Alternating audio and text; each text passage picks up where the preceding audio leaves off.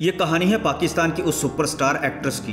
जिसने अपनी पहली फ़िल्म से ही दिलों को फतह कर लिया था। नोट उस पर बरसने लगे थे। किसी ने उसको परी चेहरा कहा, किसी ने चंबेली की कलियों से मुशाबिया करार दिया। किसी ने कहा, ये तो मलका हुस्न है। मगर वो जितनी खुशकिस्मत थी, इतनी ही बदनसीब भी थी। वाहिद पाकिस्तानी अदाकारा थी, जिसका प्रमोटर उसका मामू था और अपनी भांजी का सौदा करने में उसको कभी हया नहीं आती थी। वो पाकिस्तान की वाहिद बदनसीब अदाकारा थी, जिसको उसका मामू और बाप जुए में हार देते और फिर उसको कीमत चुकाने के लिए फ़िल्मों में मुफ़्त काम करना पड़ता। उसने पाकिस्तान की बहुत बड़ी बड़ी फ़िल्मों में मुफ़्त काम किया। बदनसीबी तो उसकी ये भी थी कि उसके मामू के साथ उसका बाप भी घटिया दर्जे का जवारी और शराबी था और अक्सर जुए में पाकिस्तान की मशहूर तरीन उस एक्ट्रेस को हार जाते और वो इतनी ताबेदार थी कि जितना कमाती, मामू और बाप के जुए और शराब की नज़र कर देती। कहते हैं जिस एक्ट्रेस को उसकी नानी ने संभाला, उसने तरक्की की, मगर जिसको मामा मिल गया, वो हमेशा नामवर होकर भी निचले दर्जा की दाश्ता बनकर रह जाती और उसकी इज़्ज़त नीलाम हो जाती। ये आसिया थी, मौला जट की जट्टी। मुखो जट्टी सुल्तान राही को मौला जट बनाने वाली आसिया, अदाकार रंगीला को फिर से जीवन देकर उसकी फ़िल्में हिट कराने वाली आसिया, अदाकार शाहिद की धड़कन बनने वाली आसिया। उसने जिस हीरो के साथ भी फ़िल्म की, उसको हिट करा दिया। उस पर एक ऐसा वक्त भी आया जब उसको एक साजिश के तहत स्टूडियो के कमरे में बेआबरू करने की कोशिश की गई और फिर सरेआम उसको इसलिए मारा गया कि उसने कैमरामैन के साथ मुँह काला करने की कोशिश क्यों की और हरासा क्यों किया? हालाँकि आसिया ऐसी न थी। ये जिल्लत इतनी बड़ी थी कि फिर आसिया इस मुल्क को ही छोड़ गई। इस वीडियो में आपको आसिया के साथ पेश आने वाले दर्दनाक वाक्य से आगाह करता हूँ। आसिया का फिल्मी करियर 1970 से 1990 तक के अरसे तक मुहित रहा। अपने 20 वर्ष के फिल्मी करियर में उसने 200 के करीब फ़िल्मों में अदाकारी की, जिनमें 28 उर्दू और 180 पंजाबी फ़िल्में शामिल थी। आसिया का ताल्लुक कराची से था। फ़िल्मों में अदाकारी को उसे कोई शौक नहीं था, लेकिन रक्स और गायकी का शौक ज़रूर था। इब्तदाई फनी ज़िंदगी में रेडियो आर्टिस्ट के तौर पर वो काम करने लगी। रक्स की बाकायदा तरबियत गुलाम हुसैन जूनागढ़ी से हासिल की। उस वक्त वो फरदौस जूनियर के नाम से कराची की महफिल में मुजरे किया करती थी।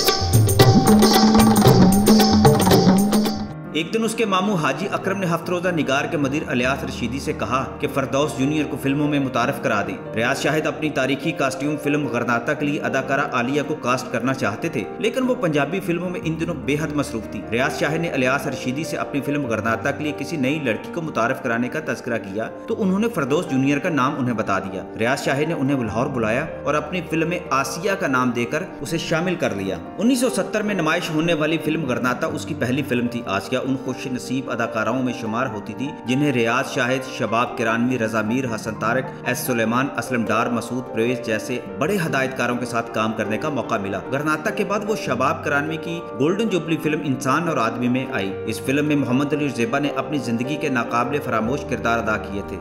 मारूफ टीवी अदाकार तलत हुसैन इस फ़िल्म में फारूक जलाल के नाम से अदाकारी की थी। इस फ़िल्म में जेबा ने उनकी माँ का रोल अदा किया था। आसिया ने इस फ़िल्म में तलत हुसैन की मंगेतर का किरदार अदा किया था। इब्तदाई चंद फ़िल्मों में यादें, प्राई, आग, चिराग कहाँ, रोशनी कहाँ, जैसी फ़िल्मों में वो नहीं होने के बावजूद फन अदाकारी में एक मंजी हुई अदाकारा नज़र आई। अदाकार रंगीला की फ़िल्म दिल और दुनिया में आसिया की एंट्री लाजवाब थी। रंगीला ने आसिया को पहली नज़र में ही देखकर अदाकारा दीबा को अपनी फ़िल्म से कट कर दिया और उसकी जगह आसिया को अंधी लड़की का किरदार अदा करने के लिए सिलेक्ट कर लिया। आसिया ने लाजवाब अदाकारी की। उस पर फरमाया गया ये गीत तो आज भी बहुत शौक से सुना जाता है। चंपा और चंबेली ये कलियाँ नई नवेली। ये फ़िल्म रिलीज़ हुई तो आसिया ने अपनी हम असर हीरोइनों की छुट्टी करा दी। आसिया के साथ जो ट्रेजेडी हुई और उसको पूरे स्टूडियो में जिस तरह बदनाम किया गया ये कहानी जो भी सुनता है आज भी उसका दिल दुख जाता है। इस बारे में सीनियर सहावी खावर नईम हाशमी ने लिखा था कि दिल और दुनिया रिलीज़ हुई तो आसिया ने गोया सारी हीरोइनों को घर बैठा दिया। हर प्रोड्यूसर, हर डायरेक्टर उसके पीछे था, लेकिन एक कहानी आसिया के घर में भी चल रही थी। एक तो था उसका मामू अकरम, जो बाद में हाजी अक्रम बन गया। दूसरा आसिया का बाप था, जिसे शाहजी कहकर पुकारा जाता था। ये दोनों आसिया पर जिस्मानी तशद भी करते थे। ये क्यों होता था? इस बारे में लोग ज़्यादा नहीं जानते। आसिया की भी कोई सहेली, कोई दोस्त नहीं था, जिसे वो अपने निजी और घरेलू मसाइल से आगाह करती। लेकिन मैं जानता हूँ उस पर घर में तशद क्यों होता था। बात यह थी की आसिया के मामू और बाप को जुए की लत पड़ गई थी। बारी स्टूडियो में हर रात अनवरा, फीम, खलीफा नजीर, बरादरान के दफ्तर में जुआ होता था। इस महफिल में जब ये दोनों जेब में पड़ी रकूम हार जाते तो वो आसिया को दाव पर लगा देते। अगले दिन लोग बताते गए, रात मामा और बाप आसिया को फिर जुए में हार गए हैं। आसिया को हारने का एक मतलब ये भी होता, वो जीतने वाले की फ़िल्म में मुफ़्त काम करेगी, और ऐसा ही होता रहा। मौला जट की तारीखी कामयाबी के बाद आसिया थाना समनाबाद के करीब तारक मॉडल स्कूल के सामने एक किराए की कोठी में रिहाइश पजीर थी। एक दिन मैं इसी गली में बैठा एक दोस्त के घर में था कि उस दोस्त के छोटे भाई ने बताया कि आसिया अपने घर में खुद रंग रोगन कर रही है। ये काम तो गरीब लोग भी खुद नहीं करते थे। आसिया खुद क्यों कर रही है? मैं तस्दीक करने आसिया के घर गया तो वाकई सीढ़ी पर चढ़ी हुई घर की बैरूनी दीवार को कली कर रही थी। ये भी शायद मामे और बाप की तरफ़ से दी गई सजा थी। ये वो जमाना था जब हर जानी आसिया के नाम का तूती बज रहा था। उर्दू हो या पंजाबी उसकी हर फ़िल्म कामयाब हो रही थी। सुल्तान राही को ये मकबूलियत बाद में मिली थी। फिर एक रात क्या हुआ?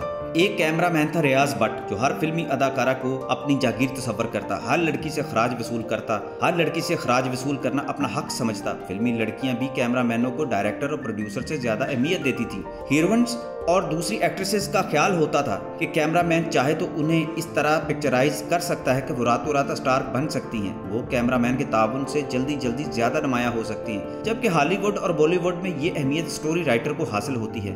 एक दिन का वाक्य है।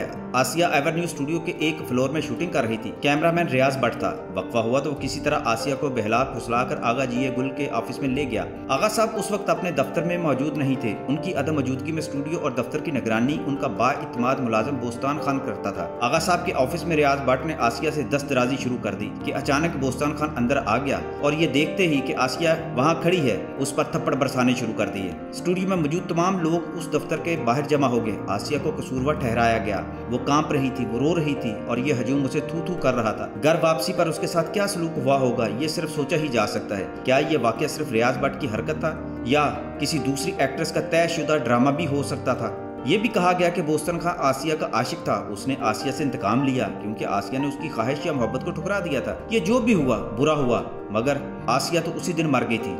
अगले दिन अदाकार यूसुफ खान दर्जनों लोगों के साथ आसिया के घर गए। आसिया पर करोड़ों रुपए की सरमायाकारी की गई थी। ये सरमाया डूब जाने का खदशा पैदा हो गया था। उसे इस बात पर मना लिया गया कि वो जेर तकमील फ़िल्में मुकम्मल कराएगी। आसिया ने मेरे मैंटोर और उस्ताद अली सुफियान फाकी की फ़िल्म नमक हराम में भी शानदार काम किया था। मनवर शरीफ और आसिया की जोड़ी ने इस फ़िल्म को सुपरहिट कर दिया था। अफाकी साहब बताया करते थे कि उस जमाने में आसिया बहुत मसरूफ थी और जब सेट पर आती तो दौरान शूटिंग फुर्सत मिलती तो थक हार कर सेट पर ही सो जाती और फिर उसको दोबारा उस वक्त उठाया जाता जब उसका अगला सीन रिकॉर्ड कराना होता था। वाकई साहब बताया करते थे कि आसिया में बहुत ज़्यादा खूबियाँ थी, मगर उस पर जो बनौना इल्ज़ाम लगाया गया था, वो एक साजिश थी जो एक एक्ट्रेस ने तैयार की थी। नाजरीन, इस एक वाक्य ने आसिया को गहरा जख्म दिया था। वो किसी से आँख नहीं मिला सकती थी, लेकिन उसने फिर भी दर्जनों फ़िल्मों में काम मुकम्मल कराया और फिर खामोशी से बिंका के एक पाकिस्तानी बिजनेसमैन फारूक से शादी कर ली और वो अचानक एक दिन उसके हमरा अपना मुल्क ही छोड़ गई। वहाँ से कनाडा चली गई और फिर किसी को मालूम भी नहीं कि आसिया पर क्या गुजरी। वो अपने चार बच्चों के साथ खुशो खुरम ज़िंदगी गुजारती थी और पलट कर फिल्मी दुनिया को नहीं देखा। उसको कैंसर हुआ तो इलाज कराने खामोशी से पाकिस्तान भी आती रही। 2013 में आसिया का इंतकाल हो गया और कैनेडा में ही उसको दफन कर दिया गया। चंपा और चमेली, ये कलिया नई नवेली।